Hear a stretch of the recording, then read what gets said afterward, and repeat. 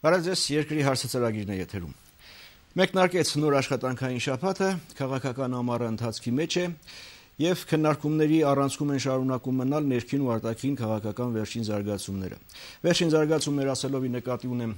ներքաղաքական շախմատը, որ խաղում են հայազգային կոնգրեսը եւ իշխանությունը եւ որի վերջնախաղը կարծես թե նախանշվում է սեպտեմբեր-հոկտեմբերին, Իսկ արտաքին քաղաքական մասով ֆուտբոլային դիվանագիտությանը հաջորդած այս զարգացումները ավելի ճիշտ միակողմանի հողորթանքը, որ կարծես թե ոչ թե ֆուտբոլային դիվանագիտության տրամաբանության մեջ է, այլ մարտեր առանց կանոնների։ Թուրքիայի կողմից։ Երկրի հարցը ծրագրում ես այսօր զրուցելու եմ ազգային ժողովի օրինաց երկիր խմբակցության անդամ Խաչիկ Հարությունյանի հետ, նա նաև գյուղատնտեսության եւ բնապահպանական հարցերի մշտական հանձնաժողովի նախագահն է, բայց այսօր մենք գյուղատնտեսություն եւ բնապահպանություն չենք շոշափելու, խոսելու ենք ներքին եւ արտաքին քաղաքական խնդիրներից, հատկապես որ պարոն Հարությունյանը նաև կոալիցիոն աշխատանքային խմբի անդամ է, որ բանակցում է հայազգային կոնգրեսի հետ։ Սկայն երկար նախաբանից հետո ասեմ բարև ձեզ, բարի երեկո։ Եվ մինչև քաղաքական խնդիրներին անցնելը 1-2 parzabanող հարց։ Հիմա որ դուք մեր հյուրն եք, սրանով հոչի խախտվում պայմանավորվածությունը ձեր աշխատանքային խմբի եւ հայազգային կոնգրեսի պատվիրակության եթերում հյուր լինելու հարցերը քննարկելու առումով կարծես թե չի խախտվում, քանի որ որքան որքանով ես տեղյակ եմ, ձեր հյուրն է եղել նաև հայ ազգային կոնգրեսի անդամը միջև իմ այստեղ լինելը եւ դուք ինքներդ միջև մեր հանդիպումը նաև ասացիք որ հրավերներ եք ուղարկել հայ ազգային կոնգրեսին եւ մի քանի անգամ հրավերներ եք ուղարկել Հիմա մեկ անգամ նրանք արձագանքել են, հաջորդ անգամ ոչ, այնպես որ կարծում եմ մեր այս ոչ թե պայմանավորվածություն, ուղղակի մեր այս հայտարարությունը, որ մենք արել ենք եւ այս միակողմանի պարտավորությունը, որ մեր աշխատանքային խումբը վերցրեց իր վրա, որ չի խախտվում, քանի որ դուրս եմ կրկնում այս տաղավում եղել է նաև հայ ազգային կոնգրեսի։ Շատ լավ, շատ ավելի լավ է որ այդպես է եւ երկրորդ էլի բարձաբանող հարցը ֆուտբոլից սկսենք թե շախմատից։ Ձեզ որն է ավելի հոգեհարազատ, շախմատից պետք է սկսենք, քանի որ մեր հավաքականը դարձավ աշխարհի չեմպիոն, դա բոլորիս համար շատ ուրախալի լուր էր եւ շատ ուրախալի իրողություն էր, որտեվ մեր շախմատը իսկապես կարևոր դեր է խաղում եւ բարբերաբար հաղթանակներ է տանում սա մեր երկրի, մեր ազգի, մեր ժողովրդի շախմատը է, կարծում եմ, մեր հավաքականը բարձանքներից մեկն է, մեր հաջողությունները այստեղ շատ Լրիվ համաձայն եմ, սա շախմատի մասին բառից բուն իմաստով։ Հիմա քաղաքական շախմատը մեր շախմատիստները, իսկական շախմատիստները շատ լավ սկսեցին շախմատային այդ ամբողջ մրցափուլը, լավ շարունակեցին եւ լավ արդյունքների հանգեցին։ Վերջում չեմպիոն։ Հիմա քաղաքական շախմատը ոնց է սկսել, սկզբնախաղը ում առավելու շարունակությունն է ավելի շատ զգացվում եւ ինչ շարունակություն է ենթադրում եւ հատկապես վերջնախաղը սեպտեմբեր-հոկտեմբերին ինչ է լինելու ուրեմն սկիզբը եւ մենք եւ հայ ազգային կոնգրեսը փաստեցին որ մենք իսկապես այդ երկխոսության սկիզբը դրեցինք բավականին բարձր այսպես հիմքերի վրա փոխանցման մտնոլորտում մեր մենք սկսեցինք մեր երկխոսությունը առաջի հանդիպումը եւ երկրորդ հանդիպումը եւս անցան այսպես բարի դրացիական մտնոլորտում մենք առաջի հանդիպման ժամանակ որոշակի մտքեր փոխանակեցինք եւ երկրորդ հանդիպման ընթացքում արդեն օրակարգը ձևավորեցինք, դու գիտեք, որ օրակարգում կա դրված է երկ դրված են երկու հարցեր, որոնք երկու կողմերի համար էլ ընդունելի են։ Մենք եկանք համաձայնության, որ մենք պետք է սկսենք այս օրակարգով, սկսենք հարցի քննար հարցերի քննարկումը, առաջինը դա հայ ազգային կոնգրեսի հարցադրումն է արտահերտ ընտրությունների հետ կապված, երկրորդը մերը ընտրությունների հետ կապված խաղի կանոնների մասով Շատ լավ, իսկ սկզբնախաղում ներքաղաքական շախմատի ով ավելի լավ դիրքային հնարավորություններ ունի։ Ուրեմն ես դիրքային պայքարում հնարավորություններն են ում դիրքն ավելի լավ։ Շատ հետաքրքիր սկսեցիք մեր այս հարցազրույցը, ինչ այլոց անակնկալ նաև ինձ համար։ Եվ կասեի դիրքերը հավասար են, մենք առայժմ գնում ենք այսպիսի ընթացքով եւ գիտեք, այնպեսի իրավիճակ չէ, երբ որ մեկը ուզում է ցանկացած գնով առավելության հասնել մյուսի նկատմամբ իսկապես կա փոխանբռնման մտնոլորտ միջև այժմ մենք հասկանում ենք երկուսս էլ որ այսօր մեր երկրի մեր պետականության մեր պետության արժե դրված են լրջագույն խնդիրներ եւ մենք պետք է հասնենք դրանց լուծմանը հիմա թե ինչպեսի ներողություն հիմա ճանապարհները թե ինչպես ենք տեսնում յուրաքանչյուրս մեր հերթին դա արդեն այլ հարց է եւ մենք սկսել ենք դրանց քննարկումները ինչպես անենք որպեսզի մենք կարողանանք մեր երկրի համար ուրեմն այսպես շատ կարևոր զարգացումներ արձանագրենք, որ ինչպես անենք, որպեսզի ընտրենք ճիշտ ճանապարհ այդ զարգացումներին հասնելու համար։ Բայց գիտեք, իմ կարծում եմ ոչ միայն նաև հանրային ինչ-որ մի շրջանակի մոտ տպավորությունն այն է, որ սկզբնական այդ դիրքային պայքարում կոալիցիան զիջում է իր դիրքերը եւ ավելի թեկուս փոքր, բայց առավելություն ունի հայազգային կոնգրեսը։ Նույն այն առումով, որ եթե սկզբնական շրջանում կոնգրեսն ասում էր իմ օրակարգը սա է, կոնկրետ արտահերտ ընտրություններն են, կոալիցիան ասում էր, որ մեր օրակարգում նման բան չկա։ Հիմա օրակարգը ձևավորվեց եւ օրակարգում կա նման հարց։ Դրանից հետո հետևեցին հայտարարություններ, հայազգային կոնգրեսի հայտարարություններում կա պետք է այսպես արվի, պետք է այնպես արվի, պետք է եթերը, պետք է եւ այլն, այսինքն մի տեսակ ուժեղ դիրքերում գտնվողի գտնվող խաղացողի հռետորաբանություն է։ Սրա մասին ինչ կասեք։ Ուրեմն պետք է մենք սկզբանե ճշտ ճշտենք մի այսպեսի իրողություն նախ ես որքան հետևում եմ մամուլին հայ ազգային կոնգրեսի ներկայացուցիչները այնպես են մատուցում կարծես թե երկխոսության նախաձեռնողները իրենք լինեն բայց երկխոսությունը նախաձեռնեց հանրապետության նախագահը։ Սա պետք է փաստենք, որովհետև այդ փաստերը կան, Գարանը երբ որ ասում է որ մենք ստիպեցինք որ դե ստիպելը մի բան է հիմա ստիպելը ասեցին գիտեք ինչ կարելի է տարբեր այսպես իմպրովիզացիաներ անել թե ինչպես սկսվեց երկխոսությունը բայց փաստը նա է որ հանրապետության նախագահը Գառնանը ծաղկաձորում իր հարցազրույցի ժամանակ շատ པարզ ասեց ամեն ինչի մասին, շատ པարզ խոսեց եւ հակին որը մեր ընդդիմության մի մասն է, արտախորհրդանական, կարևոր մասն է, սա եւս փաստենք, հրավիրեց երկխոսության հրավիրեց ու աշճանական քայլերը տարան նրան, որ այդ երկխոսությունը իսկապես սկսեց կայանալ։ Քայլերը սկզբից հերակա, այսպես նրանք որոշակի նո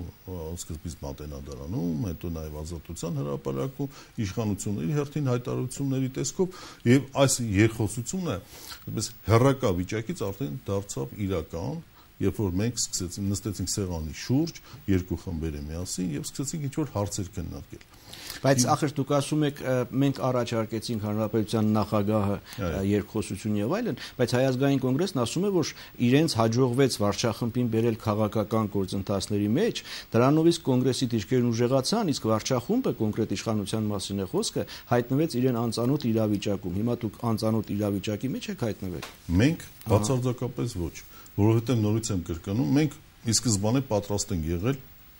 քաղաքակիրթ երկխոսության։ Ես իմ նախորդ հարցազրույցների ժամանակ էլ ասեցի,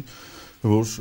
գիտեք երկրում եւ մեր երկրի առաջ ծառացած են բազմաթիվ կարևորագույն խնդիրներ մենք պետք է հասնենք դրանց լուծմանը։ Հասնենք ոչ թե մեր երկրի ներքին քաղաքական կյանքում արճակատումների ճանապարհով, այլ երկխոսության, փոխհմբռնումների։ Ի վերջո գիտեք, ներքին լարվածությունը մեզ կհասցնի այնտեղ, որ մենք ուղղակի մեր երկրի առաջ մեր երկիրը կանգնացնենք այնպեսի խնդիրների առջև, որոնց հետ լուծումը հետագայում դժվար կլինի մեզ համար գտնել։ Ուզում եք ասել, որ այս գործընթացը ավելի շատ հանրային շահն է սպասարկում, քան թե քաղաքական։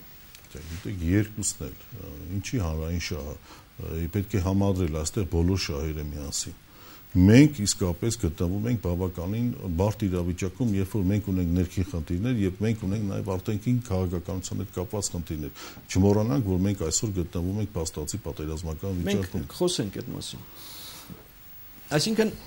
զուտ հանրային շահն է սպասարկում ոչ թե կոալիցիայի կամ հայազգային կոնգրեսի կամ այս երկուսի միասին։ Գիտեք, ինչ կոալիցիայի շահերը դրանք ինքնանպատակ շահեր չեն, դրանք ի վերջո երկրի ժողովրդի շահերն են։ Մենք ցանկանում ենք, որպեսզի մեր երկիրը ձերբազատվի այն խնդիրներից, այն խնդիրներից, որոնք այսօր գոյություն ունեն։ Եվ մենք մենք պետք է գնանք փող համաձայնեցման ճանապարհով։ Եվ ընդդիմության հետ մենք հաշվի ենք նստում, թե ինչ է ուզում ընդդիմությունը։ Ի վերջո պետք է հասկանանք, որ եթե ունենք ուժեղ ընդդիմություն,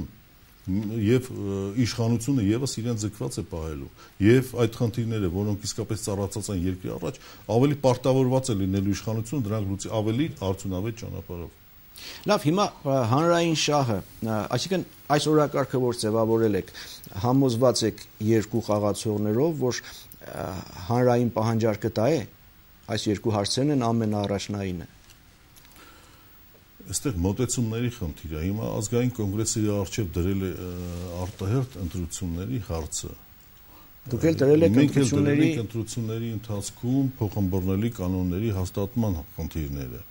Ի վերջո պետք է հասկանանք, որ մեր երկրում ընտրությունների արդյունքները պետք է հասանելի եւ ընկալելի լինեն ժողովրդի համար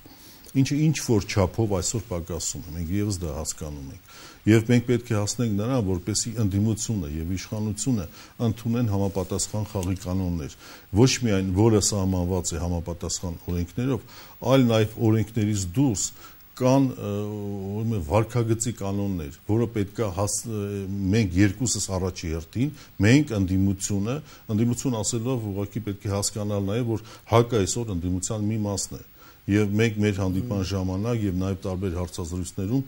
կոչ արեցինք նաև մնացած քաղաքական ուժերին, ովքեր գտնում են ընդդիմադիր դաշտում, եթե մենք ընդունենք այդ խաղի կանոնները մեզ համար, նրանք եւս միանան դրան, որպեսի բոլորի համար ընդունելի կանոններով մենք գնանք առաջիկա ընտրություններին։ Ազնվաբար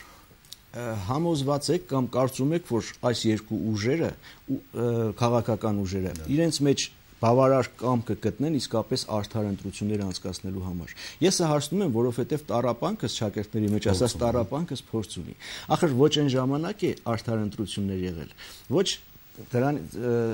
դրանից հետո ծեր իշխանության ժամանակ է արդարություն եղել այսինքն արդար ընտրություններ ես որ չասեմ էլ դուք գոնե ընդդիմության մեջ եղած ժամանակ շատ լավ տեսել եք անարդարությունները դրա դեմ խոսել եք հա գիտեք ոչ միայն խոսել եք նաև պայքարել եք պայքարել եք եւ այլն այսինքն երկու ուժերի կողմից էլ մինչև այսօր գոնե այսպես անկոտրում կամք արդար ընտրություններ անցկացնելու համար չի նկատվել։ Դրան ավելին ասեմ, մի կողմից դուք քաղաքական կոալիցիայով հայտարարություն եք ստորագրում այն մասին, որ մտադիր չեք փոխել կոալիցիոն ուժերի հարաբերակցությունը եւ ներկայացվածությունը ազգային ժողովում, նույնիսկ ավելացնել, հա? Մյուս կողմից էլ հայտարարություններ են հնչում, որ եթե հայ ազգային կոնգրեսը կա իշխանության, նշանակում է տեղի ունեցել օրինական ընտրություններ։ Եթե չգա իշխանության, ուրեմն նշանակում է տեղի չեն ունեցել արդար ընտրություններ։ Հա, այդ դու իր առաջնորդը չէ, բայց ներկայացուցիչներից այսպես հայտարարվում է։ Հիմա ես էլ ժողովուրդն եմ Եթե մի կողմից տեսնում եմ կոնգրեսը հայտարարություն ստորագրել չի ասում սահմանադրություն կա, սահմանադրությունով ընտրության միջոցով ժողովուրդի ձևավորի իշխանություն, այլ քաղաքական ուժերով հանվակում ասում ենք մենք մեր ներկայացված ճանաչանը չենք փոխելու։ Այն կողմից էլ ասում են մենք եկանք իշխանության արդար է, չեկանք, ուրեմն արդար չէ։ Ես ոնց հավատամ, որ իսկապես այդ այս ամեն ինչը արդար ընտրություններին է հանգելու։ Շատ լավ։ Ուրեմն ընտրությունների թեմային անդրադառնանք։ Հայաստանը ընդամենը նորանկախ Հայաստանը ընդամենը 20 տարվա պատմություն ունի եւ մենք պետք է ինքներս մեզ համար գոնե հասկանանք որ այդ 20 տարվա ընթացքում չի կարելի ժողովրդավարություն կառուցել միջև վերջ իր բոլոր այդպես ատրիբուտներով Հիմա 20 տարվա ընթացքում մենք ինչպիսի ընտրություններ ենք ունեցել։ Սկսած 95 թվականից սկսենք երևի, թե աստիճանական կարգում, հա, սկսենք 95 թվականից մեր մենք չենք ունեցել այնպիսի ընտրություններ, որը բավարար է եւ քաղաքական ուժերին եւ ժողովրդին։ Սա գիտեք, սա երևի թե պետք է հասկանալ, որտեղ միանգամից ամեն ինչ չի լինում։ Քայլ առ քայլ մենք պետք է կատարելագործենք նախ մեր ընտրական համակարգը եւ պետք է հասնենք ժողովրդի մեր ընտրական համակարգը Դե դա գիտեք ինչ դա մի օրվա դա պերմանենտ ուղղակի այսպես գործընթաց է անընդհատ գործընթաց է հիմա ամերիկյան ամերիկան ունի 200 եւ ավելի տարվա ժողովրդավարություն եւ անընդհատ նրանք եւս որոշակի փոփոխություններ են մտցնում սա կարծրացած քարացած այդպես գործընթաց չէ կամ ինչ որ մի մարմին չէ որ մենք դրեցինք եւ ասացինք վերջ այլևս փոփոխության ենթակա չէ կյանքը զարգանում է իր հետ բերում է նոր խնդիրներ ներողություն ես ձեզ հասկացա կամքի մասին է թե չէ որ ասում եք համակարգը բարելավենք մեռանք համակարգը բարելավելով ամեն անգամ ընտրություններից հետո սկսում ենք համակարգը բարելավել ընտրական օրենսգիրքը բարելավում ենք ուղարկում ենք վենետիկի հանձնաժողով այնտեղ իրենց դիտողություններն անում են մենք նորից ասում ենք այ ընտրական օրենսգիրքը բարեփոխեցինք ընտրությունները լավ կլինեն գալիս է ընտրությունները բարձում որ ինչ ընտրական օրենսգիրքը բարելավում, ինչ բան էլի Ուզում ենք որ լավ լինի, ստացվում է ինչպես միշտ։ Չէ, գիտեք, ինչ ընտրությունները,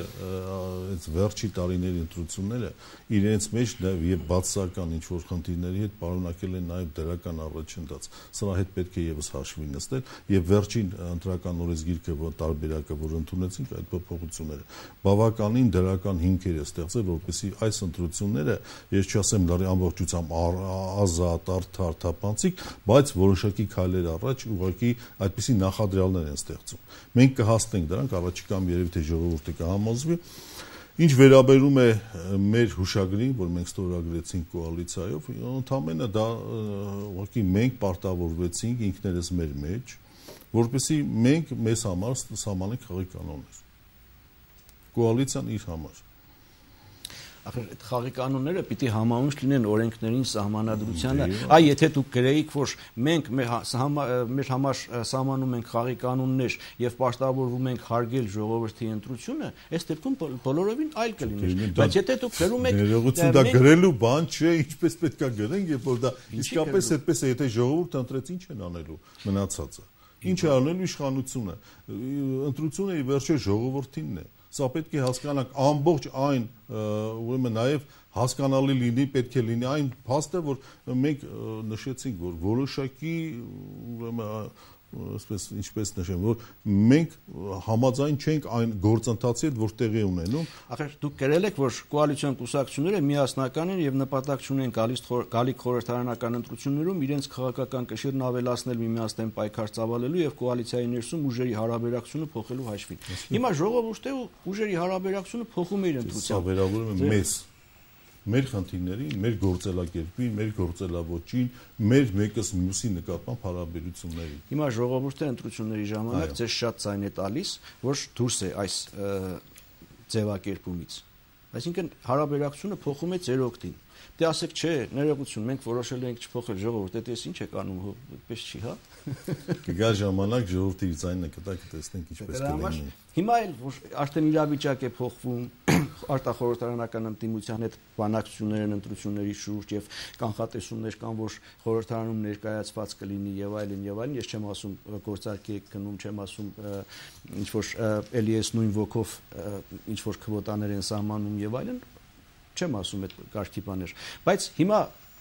ո՞նց է այս հայտարարությունը կյանքի կոչվելու, եթե իրավիճակը քաղաքական փոխվել է, եթե խորհրդարանում նոր ուժեր պիտի ձևավորվեն, Այսինքն այս հայտարարությունը արդեն ժամանակը չի ոնց են ոնց են ասում ստորագրությունը հետ կանչելու։ Չէ, ստորագրությունը հա, հետ չեն կանչելու, որտեղ այդտեղ մենք ստորագրել ենք մի փաստաթուղթ, որտեղ ես նորից եմ կրկնում, մենք ինքներս մեզ համար երեք քաղաքական ուժեր իրենց համար սահմանել են խաղի կանոններ, որպեսզի մենք կարողանանք մեզ համար գոնե ճշգրտել, թե առաջիկա տարիների ընթացքում Հայաստանի քաղաքական դաշտում մենք ինչպես ենք տեսնում առաջիկա զարգացումները։ Ինչ վերաբերում է ընդդիմությանը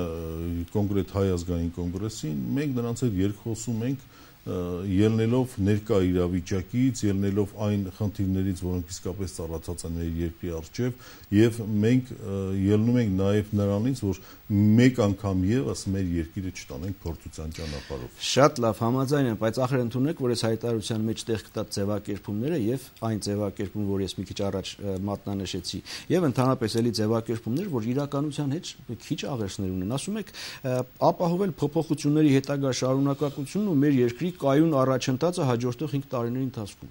Ախր մեր երկրը ինչ կայուն առաջընթաց, մենք կայուն հետընթացի մեջ ենք, ասում ենք շարունակել, ապահովել կայուն առաջընթաց առաջընթացի շարունակականություն։ Կայուն առաջընթաց ունենք ելիք չէ, մի բան է դե ապահովենք դրա շարունակականությունը։ Չէ, բայց դուք հետաքրքիր բան եք ասում, այդ կայուն հետընթացը որտեղ է երևում, եթե մենք երևում է արտագաղթի տեմպերի մեջ։ Սա իսկապես ամենալավ ցուցանիշն է ուղղակի այսպես միանշանակ երևի թե հնարավոր չէ ասել, որ քանի որ արտագաղթի խնդիրներին վերջերս անդրադարձան նաև իշխանությունները հանրապետության նախագահ։ Եթե երկրի նախագահն էլ է անդրադառնում, ուրեմն անդրադարձանք այդ խնդրին, քանի որ այդ հարցը բարձրացվեց բազմաթիվ քաղաքական ուժերի կողմից եւ նաև ընդդիմության կողմից, խնդիրը իսկապես գոյություն ունի այն առումով, որ տարբեր երկրներ այսօր վարում են տարբեր միգրացիոն քաղաքականություն։ Մենք գիտենք, որ բավականին խնդիրներ կան եւ Ռուսաստանում եւ Եվրոպայում այսօր Ռուսաստանը, գիտեք, այդ հայրենակիցներ ծրագիրը իրականացնում է եւ բավականին այսպես իրենց համար շահեկան է, որպեսզի Հայաստանից որոշակի ժողովրդագրական այո, ժողովրդի դեմոգրաֆիական խնդիրներն է լուծում բայց ուղղակի այն ցուցանիշները, վիճակագրական տվյալները, որոնք փաստում են, որ մեր երկրում արտագաղթի այդպիսի տեմպեր իրականում գոյություն չունեն։ Թվերը մի փոքր երևի թե ուռճացված են, բայց փաստը կա։ Հիմա եթե մենք գիտենք տարիների ընթացքում հայ ինչ են անում հայերը, հայերը այսպես իրեն իրենց անուններով կոչեմ, չէ, երևի թե գնում են խոպան, գառնանը եւ աշնանը վերադառնում են։ Ախր հիմի գնում են, չեն վերադառնում։ Դե հիմա գիտեք աշունը կգա, կտեսնեն կվերադառնան, թե չեն վերադառնա։ Ձեր ասած հայրենակիցներ ծրագիրը ենթադրում է ընտանիքներով գնալ, ընտանիքներով վերջին տվյալներով, ուրեմն ես ձեզ ասեմ, նաեւ Ռուսաստանի այստեղ Գյումրի հյուպատոսը, եթե չեմ սխալվում, հայտարարեց, որ ընդամենը 600 ընտանիք Հայաստանից գնացել եւ բնակություն հաստատել Ռուսաստանում։ Ախր մեր երկրի համար ամեն մի ընտանիքն էլ արդեն կարևոր է։ Ընդամենը 6 Ես ձեզ միանշանակորեն համաձայն։ Լավ, երկու հարց, մեկը ներքաղաքական իմասով արտահայտ ընտրություններ կարծում եք կլինեն թե չեն լինի, մեզ ընդամենը 3-4 րոպե ժամանակ է մնացել, դրա համար եմ շտապում։ Եվ երկրորդ հարցը կախված է արդեն արտաքին քաղաքական այս հայ-թուրքականի հետ ներքինը վերջացնենք եւ արագ մեկ հարցով էլ նաեւ արտաքինը շոշափենք։ Արտ սեպտեմբեր-հոկտեմբերին արտահերտի հավանականությունն ինչքան է ըստ ձեզ։ Ուրեմն սեպտեմբեր-հոկտեմբեր ամիսներին ես որքան հիմա հասկանում եմ, արտահերտ ընտրություններ չեն լինի։ Չեն լինի իհարկե չեն լինի ինչ վերաբերում է մեր երկխոսության օրակարգին որը դրված է առաջին հարցին որը ներկայացրել է հակը առաջարկել է հակը. Մենք այս հարցի շուրջ սկսենք քննարկումները ամսի 4-ին այս ամսի 4-ին ժամը 12-ին դուք գիտեք որ մենք հանդիպել ենք դա մեր հերթական երրորդ հանդիպումն է եւ մենք քննարկելու ենք այս հարցը սկսելու ենք հակի առաջադրած հարցից հիմա այդ քննարկումները ուր կտանեն մենք կտեսնենք բազմաթիվ բազմաթիվ անգամներ ուրեմն մենք ասել ենք նաև ես ան ինքս եւ մեր կոալիցիայի ներկայացուցիչները որ մենք քաղաքական եւ իրավական համապատասխան հիմքեր չենք տեսնում արտահերտ ընտրությունների համար։ Եթե ունեն իրենք փաստարկներ եւ մեզ համոզիչ փաստարկներ կներկայացնեն, մենք կքննարկենք եւ այնտեղ կերևա թե հետագան ինչ է լինելու։ Շատ լավ։ Շատ լավ։ Եվ վերջին այս 2-3 րոպեն էլ արտաքին քաղաքական ուղղության մեջ վերջին զարգացումների գիտեք խոսքը ինչի մասին է. Հանրապետության նախագահի հայտարարությունը ցաղկաձորում ի պատասխան սպյուրքայի մասնակիցներից մեկի հարցի եւ սրա առաջացրած մեծ աղմուկը Թուրքիայում իսկապես